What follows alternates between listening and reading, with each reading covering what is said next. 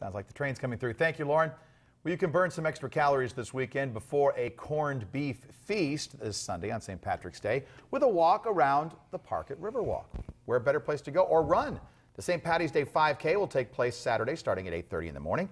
Registration begins at 7 a.m. The cost is $25. In addition, there's a costume contest for the person who has on the most green. Proceeds will benefit the CSUB School of Social Sciences and Education Community Outreach Projects. Oh, so for a good cause.